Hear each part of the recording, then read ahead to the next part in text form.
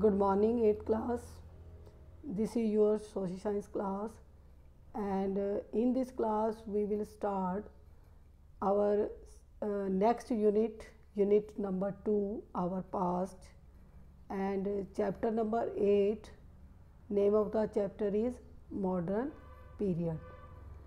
In this topic uh, uh, we all know about the period. Period means time historians divided the history uh, in three parts for their convenience. First part is known as ancient history.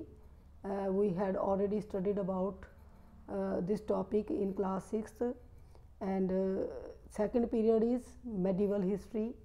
Or we had already studied this topic in class 7th and 8th onward we will study about the modern period. So, let us start the class. In class 6th we have studied about the period stone age and the development of civilization, many empires in different parts of India and in class 7th we had studied about the rise of various empires, Sultanate period, Turkish invasion and regional powers, Mughal empires etc. And uh, now we are going to learn about the modern period of Indian history which began in the 18th century. Underline this topic, uh, underline this uh, uh, main points 18th century after 1707 इस class में बेटा हम modern period के बारे में जो Indian history के अंदर आता है 1707 में जो स्टार्ट होता है, उसके बारे में रीड करेंगे बेटा। तो मॉडर्न जो पीरियड है हिस्टोरियंस ने कब से माना है बेटा? एटीन सेंचुरी से, यानी कि 1700 फिनिश हो गए। जो ऊपर के सेवन ईयर्स हैं, वो किसमें काउंट होएँगे? एटीनथ सेंचुरी में। इसीलिए इसको क्या बोलेंगे? एटीन सेंचुरी ऐसे तो लगता है जैसे सेवनटीन हंड्रेड सेवन है तो सेवनटीन सेंचुरी होनी चाहिए। बेटा सेंचुरी में हंड्रेड ईयर्स होते हैं तो सेवनटीन हंड्रेड मीन्स फिनिश हो गए, ख़त्म हो गए, और ऊपर के जो सेवन ईयर है वो किसमें काउंट हो जाएँगे? एटीन सेंचुरी में। तो हिस्टोरियंस ने मॉडर्न पीरियड की स्टार्टिंग कहाँ से मानी है? After the death of Aurangzeb. Aurangzeb जो मोस्ट पावरफुल रूलर था लास्ट पावरफुल रूलर भी बोला जाता है मुग़ल पीरियड के अंदर, उसकी डेथ के बाद जो है मॉडर्न पीरियड स्टार्ट हो जाता है, क्योंकि उसके जो सक्सेसर थे, वो बहुत ही वीक थे और इतनी बड़ी एम्पायर को, जो मुग़ल एम्पायर थी नॉर्थ इंडिया से लेके साउथ इंडिया तक, उसको कंट्रोल करने में वो फेलर रहे, जिसकी वजह से जो ब्रिटिश थे, उनका कंट्रोल शुरू हो गया इंडिया के अंदर।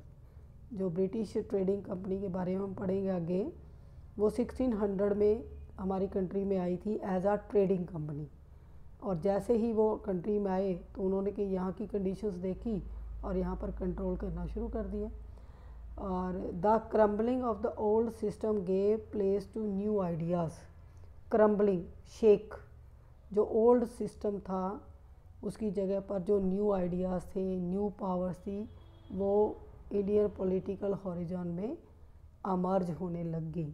यानी कि 1707 ईस्वी के बाद जो पॉलिटिकल कंडीशन मिजरेबल थी या कह सकते हैं अनस्टेबल थी, उसकी जगह पर नए आइडियाज़ आ गए, नई पावर्स जो हैं वो अमर्ज होने लग गई। यानी कि ब्रिटिश कंपनी का जो रोल है, वो यहीं से स्टार्ट हो जाता है। Ever changing political scenario heralded of modern period with the coming of the European to India Europeans का भारत में जो आगमन हुआ तो उससे क्या हुआ? जो इंडिया का पॉलिटिकल सनेरियो था, यानी पॉलिटिकल पावर किसके पास होती है? ब्रिटिश जो है कंपनी आने के, आने से पहले क्या था? यहाँ पर छोटे छोटे रूलर्स थे छोटे छोटे एरियाज़ थे, जिनके राजा होते थे। तो पावरफुल कौन होता था उस वक्त? वो राजा होते थे अपने एरिया में तो वो जो सिस्टम था, वो चेंज हो गया और during this period India was exploited politically socially economically and culturally जब यूरोपियंस आए तो उन्होंने इंडिया को एक्सप्लोइट किया किस बेस पर? पॉलिटिकली भी सोशली इकोनॉमिकली और कल्चरली तो हर पहलू को, जीवन के हर पहलू को उन्होंने एक्सप्लोइट किया, चाहे वो राजनीतिक तौर पर हो, सामाजिक तौर पर हो, आर्थिक तौर पर हो या सांस्कृतिक तौर पर। यानी उन्होंने हर फ़ील्ड पर अपना प्रभाव जमा लिया।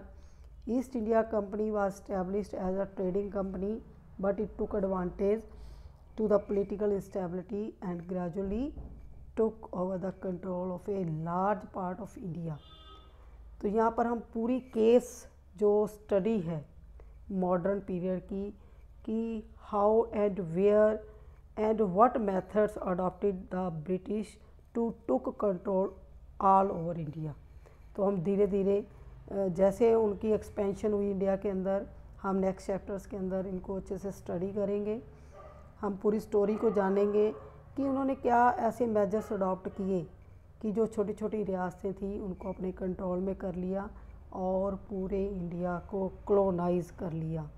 और एक ऐसा टाइम भी आया 1858 में कि power went into the hands of British crown trading company जो ब्रिटिश ट्रेडिंग कंपनी थी, वो यहाँ पर डिक्लाइन हो जाती है, उसको ख़त्म कर दिया जाता है और जो सीधा जो रूल है, सीधी जो पावर है, वो ब्रिटिश क्राउन के हाथ में कैसे आ जाती है?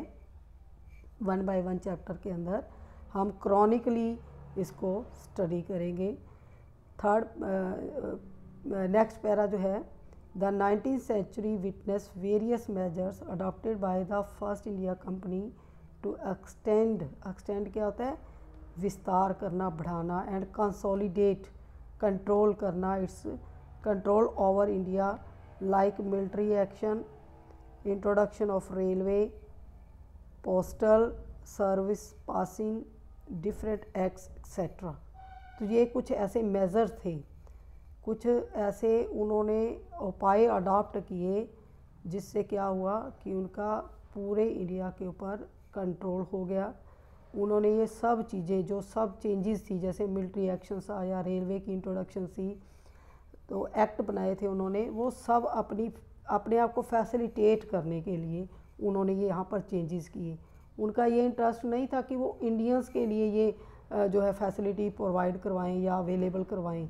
वो अपने लिए कर रहे थे। और हम पढ़ेंगे कि कैसे उन्होंने हमारे रिसोर्स को यूज़ करके इंडिया के रिसोर्स को यूज़ करके उन्होंने अपने बेनिफिट के लिए जो नई पॉलिसीज़ जो अडॉप्ट की या जो उनका रूलिंग एरिया था या उनकी जो वे था रूल करने का, वो हम सब स्टडी करेंगे। नेक्स्ट चैप्टर के अंदर बेटा। The British rule continued over India but the discontentment discontentment क्या होता है बेटा? डिससेटिस्फाइड कि ब्रिटिश रूल जो कंटिन्यू इंडिया के ऊपर राज कर रहा था near about two hundred years तो कैसे लोग डिसकंटेंट हुए कॉलोनियल पावर के अगेंस्ट अब जब लोगों की नीड नहीं फुलफ़िल होती तो वो डिससेटिस्फाई हो जाते हैं। और ब्रिटिश टाइम पीरियड तो ऐसा था कि उन्होंने कभी भी इंडियंस के लिए कुछ ऐसा काम नहीं किया जिनसे यहाँ के जो लोकल पीपल थे नेटिव थे, उनको बेनिफिट हो सके। उन्होंने जब भी कोई काम किया, जब भी कोई नई पॉलिसी अडॉप्ट की तो सिर्फ़ अपनी नीड को पूरा करने के लिए, अपनी जो है, कह सकते हैं ग्रीड को पूरा करने के लिए उन्होंने चेंजेस किए बट उन चेंजेस का हम आज़ादी के बाद फ़ायदा उठा रहे हैं। जैसे रेलवे का जो नेटवर्क था वो सबसे ज़्यादा वाइड है इंडिया के अंदर इतना जो रेलवे का एक्सपेंशन है, किसी भी कंट्री के अंदर नहीं है। इसकी स्टार्टिंग ब्रिटिश ने अपने लिए की बट उसका आज के टाइम में हम बेनिफिट ले रहे हैं बेटा। तो उस वक्त जब उन्होंने ये इम्प्रूवमेंट्स किए तो इंडियंस को लगता था कि ये हमारे लिए नहीं। तो ऐसा था भी, क्योंकि रेलवे में आम लोग यात्रा नहीं कर सकते थे। ट्रैवल कौन करता था? जो ब्रिटिश ऑफिशियल्स होते थे आर्मी होती थी तो सिर्फ़ अपने यूज़ के लिए उन्होंने ये चेंजेस किए। तो इसलिए लोग क्या हो गए? डिससेटिस्फाइड कॉलोनियल पावर के अगेंस्ट वो खड़े हो गए। उन्होंने क्या किया? नेशनल मूवमेंट्स किए रिवोल्ट किए। तो अलग अलग टाइम में जो रेवोल्यूशंस होती हैं, वो पढ़ेंगे हम। जैसे रिवोल्ट 1857 है हुई, लेकिन उसको भी सुप्रेस्ड कर दिया रुदलेसली यानी कि सबसे लार्ज स्केल पर फ़र्स्ट टाइम रेवोल्यूशन हुई इंडिया के अंदर ब्रिटिश ट्रेडिंग कंपनी के गेस्ट लेकिन उसको भी दबा दिया गया सुप्रेस कर दिया गया। नेशनल मूवमेंट्स हुए। Establishment of the Indian National Congress in 1885 had far reaching effect और फिर बाद में जो है, हम 1885 में जो नेशनल कांग्रेस की इस्टेब्लिशमेंट हुई, उसके बारे में स्टडी करेंगे। तो इस चैप्टर में जो मॉडर्न पीरियड है जस्ट इसकी इंट्रोडक्शन है कि मॉडर्न पीरियड क्या है और इसमें इसको जानने के क्या क्या सोर्सेस हैं। कौन सी इंफॉर्मेशन हमें रिटर्न में मिली है या उस वक्त के मोन्यूमेंट्स हैं या बुक्स हैं गैलरीज हैं, उनसे हम मॉडर्न पीरियड की हिस्ट्री पढ़ सकते हैं और हिस्टोरियंस ने उन्हीं सोर्सेज की हेल्प से मॉडर्न हिस्ट्री को लिखा है, जो आज हम पढ़ रहे हैं बेटा। तो इसमें सेवनटीन हंड्रेड सेवन से लेकर अब प्रेजेंट टाइम तक जो हिस्ट्री है, यानी कि फ्रीडम जो है हमें मिली 1947 तक, वहाँ की हिस्ट्री इसके अंदर ली गई है। और उसके जो सोर्सेज हैं, वो इस चैप्टर में बताए गए हैं। ये चैप्टर जो है बेटा, इसमें मोस्टली वन मार्क के क्वेश्चन पुट किए जाते हैं। एग्ज़ाम के अंदर हमेशा जो चैप्टर एट है, उसमें वन मार्क्स वाले क्वेश्चन लिए जाते हैं। कभी भी इसमें थ्री मार्क्स के क्वेश्चन नहीं आए तो इसलिए इसकी सिंगल सिंगल लाइन और जो इसके अंदर एक्शंस हैं, वो आपके वन वर्ड आंसर बनेंगे, जो वन मार्क को शो करेंगे बेटा।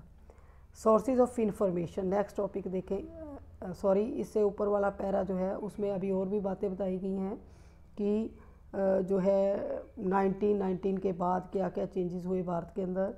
ट्वेंटी सेंचुरी के अंदर India were the partition of Bengal formation of Muslim League Home Rule League Jallianwala Bagh massacre ये सब इवेंट्स और इंसिडेंट हमारी कंट्री में हुए during British period British government also introduced a series of reform to pacify Indian and to weaken the freedom of struggle तो उन्होंने हर ऐसा कोई कदम उठाया जिससे कि वो फ्रीडम स्ट्रगल को वीकन कर सकें।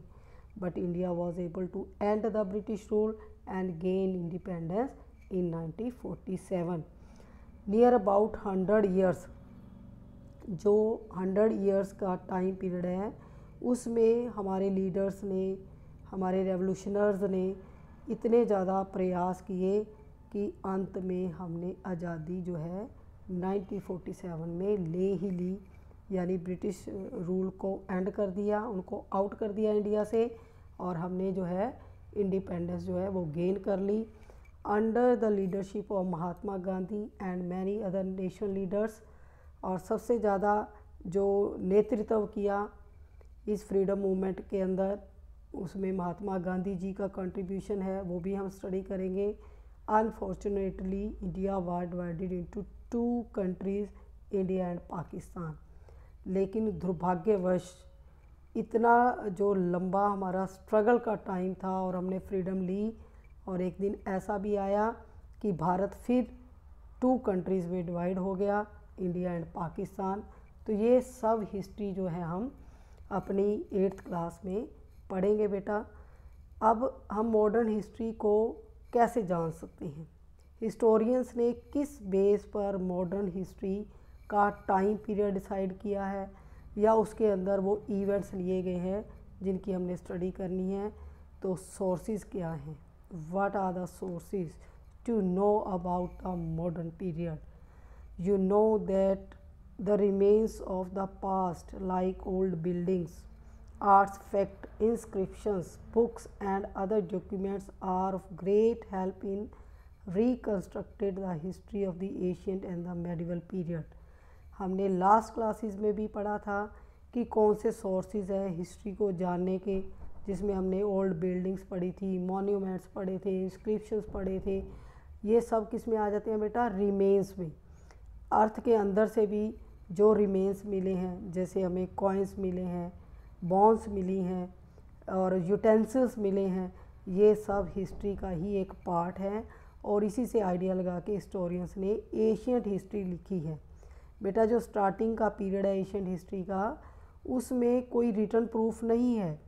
सिर्फ़ आइडियाज़ हैं इमेजिनेशन है, उन रिमेन्स को देखकर कि हिस्टोरियंस ने अर्ली मैन के बारे में लिख दिया कि ऐसे करता होगा, वैसे करता होगा।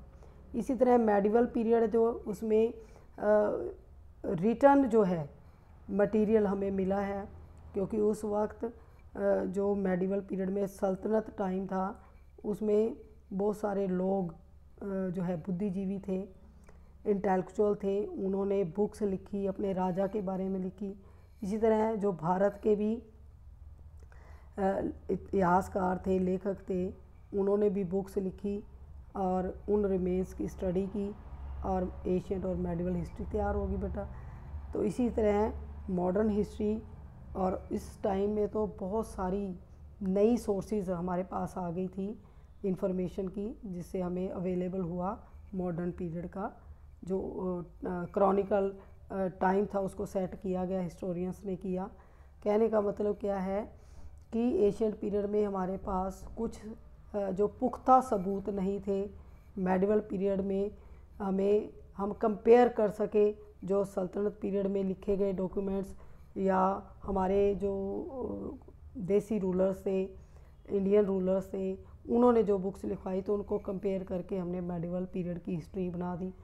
अब मॉडर्न पीरियड के लिए तो हमें बिल्कुल सॉलिड हमारे पास सबूत रहे हैं, जिनसे हम मॉडर्न हिस्ट्री को फॉल्स नहीं कह सकते, जुठला नहीं सकते बेटा। क्योंकि इस टाइम हैंड रिटन मटेरियल भी था कंप्यूटराइज्ड भी था तो डॉक्यूमेंट्रीज़ भी थी तो वो सब हमें प्रोवाइड करवाती है मॉडर्न हिस्ट्री को जानने के लिए। Let's look at the source of information of the modern Indian history which are preserve in archives archives क्या होते हैं? बहुत बड़े बड़े संग्रहालय ऑडिटोरियम्स हम देखते हैं ना, कहीं घूमने जाते हैं तो वहाँ पर बड़े बड़े वो बड़े होते हैं ऑडिटोरियम जिसमें पुरानी चीज़ें रखी जाती हैं बेटा।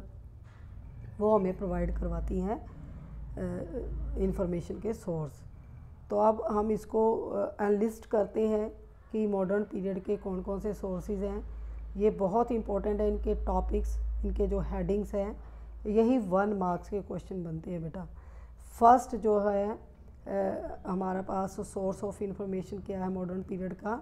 British documents the British ruled over India almost कितने टाइम पीरियड रहा ब्रिटिश रूल हमारे कंट्री में बेटा? टू हंड्रेड ईयर्स जैसे कि मैंने आपको बताया कि इसकी जो इस्टेब्लिशमेंट थी thirty first December sixteen hundred को जो ब्रिटिश ट्रेडिंग कंपनी थी, उन्होंने सूरत के अंदर, जो गुजरात में है, वहाँ पर अपनी एक जो है बिल्डिंग बनाई।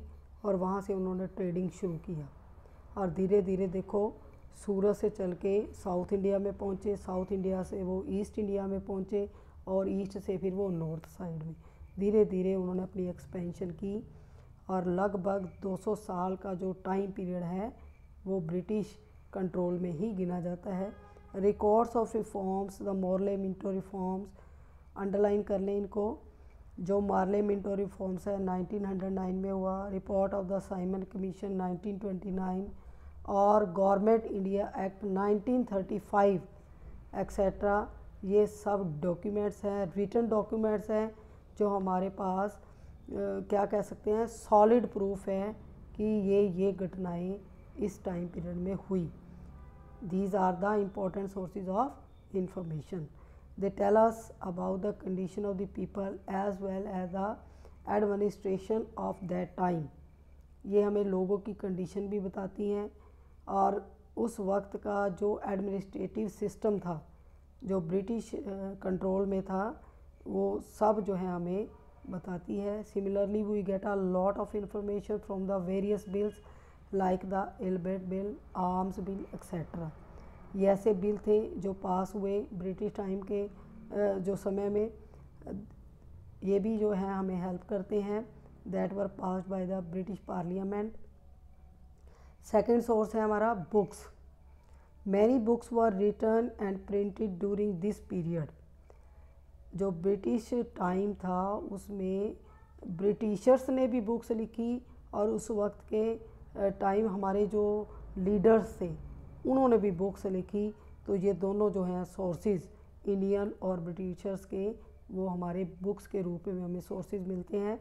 They are preserve in public and private libraries most books ये लाइब्रेरीज़ में जो है सरकारी जो गवर्नमेंट है और प्राइवेट है, दोनों में लाइब्रेरीज़ जहाँ भी हैं तो हमें ये बुक्स मिलती हैं, जो आगे हम पढ़ रहे हैं। Most books like Anand Math by Bankim Chandra Chattopadhyay. Underline करें बुक्स को। ये ज़रूर क्वेश्चन पूछे जाते हैं who was the writer of Anand Math तो कौन है राइटर बेटा? बंकिम चंद्र चट्टोपाध्याय। नेक्स्ट बुक है माई एक्सपेरिमेंट विद ट्रुथ ये बुक किसने राइट की थी बेटा? It was written by Mahatma Gandhi. The experiment with my truth unhappy India इसके राइटर कौन थे बेटा? लाला लाजपत राय।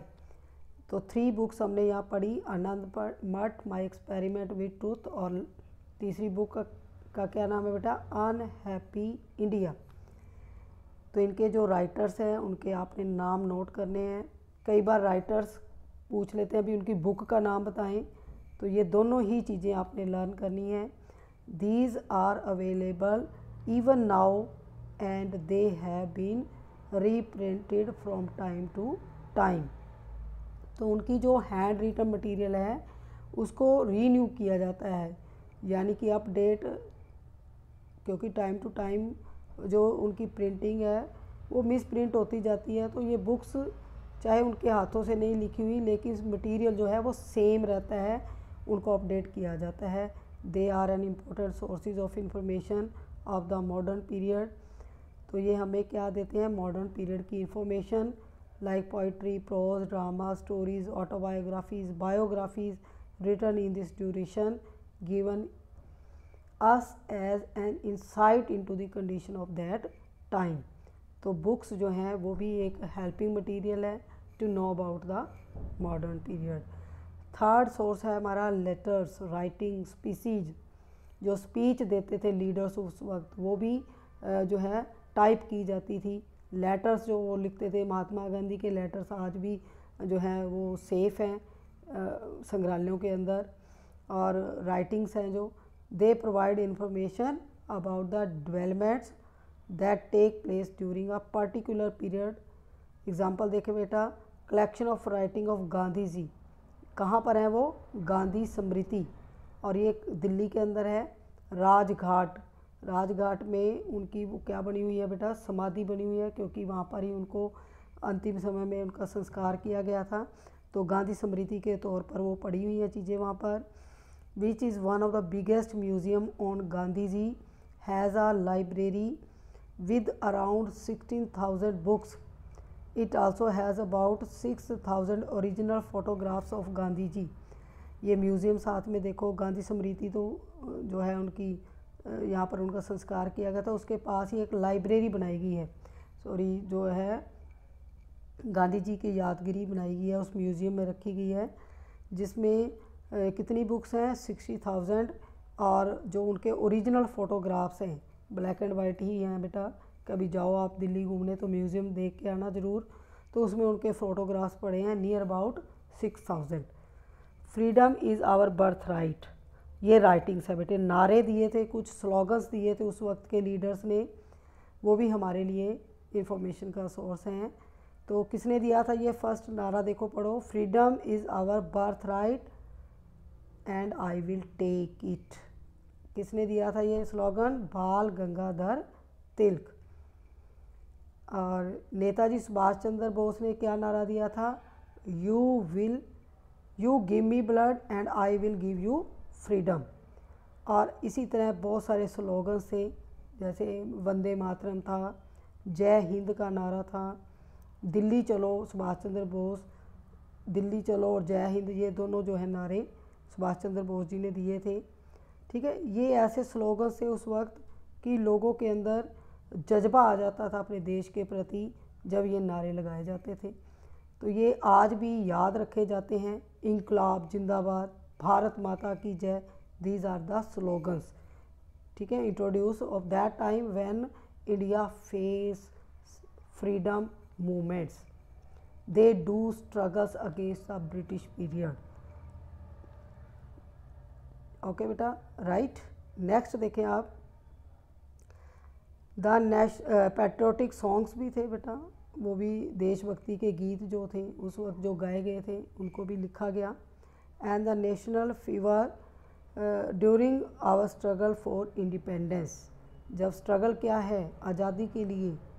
तो तब उस वक्त जो नारे दिए गए, या उस वक्त जो देशभक्ति के गीत बोले गए, वो सब हमारे लिए यादगिरी भी हैं और हमारे लिए क्या है बेटा? सोर्सेज ऑफ़ इंफॉर्मेशन नेक्स्ट हमारा जो सोर्स है न्यूज़पेपर्स न्यूज़पेपर जो थे इंग्लिश में भी प्रिंट होते थे और अपने इंडियन जो राइटर्स थे उनकी जो आ, उनके भी न्यूज़पेपर थे दोनों पढ़ेंगे हम इसमें। तो वो भी सोर्सेज थे हमारे लिए इंफॉर्मेशन के।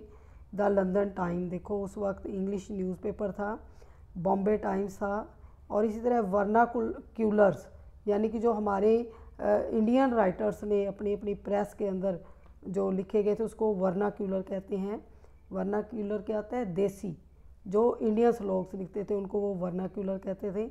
बाल गंगा तिलक बाल गंगाधर तिलक ने भी जो केसरी केसरी क्या है? न्यूज़पेपर का नाम है। इसको इंट्रोड्यूस किसने किया? बाल गंगाधर तिलक ने, ठीक है? और ये लैंग्वेज कौन सी थी? मराठी। इसी तरह अमृता बाज़ार पत्रिका, ये एक मैगज़ीन थी, बंगाली लैंग्वेज में थी। These are the sources of history of modern period बेटा, आज का टॉपिक यहीं तक है। आप इसको अच्छे से रीड करना। ओके बेटा? Till then good bye